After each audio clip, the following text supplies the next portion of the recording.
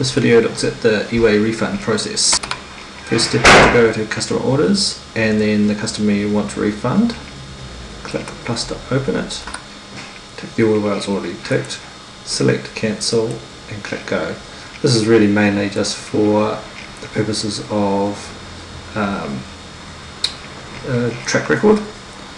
Then you can view cancel order so you can look back at its customer and see that it was cancelled. Next step is to go to the invoice.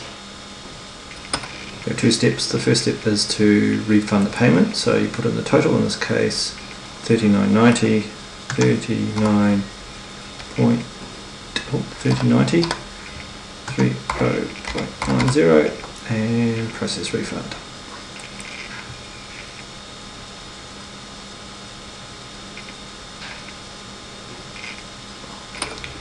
This refunds the payment side of it. Next you have to return the items. Now I'm on the alpha version here so it's slightly different but you normally have a wee return thing here. You click that and return the items to stock. In the future you'll tick this and create a credit note. Um, that's the version that's on the way. And to return the actual items you click on return, put in your reason, uh, stop OK and then click OK. Now I'm not doing this for real because this is actually live data. Um, you click OK there and it'll be done.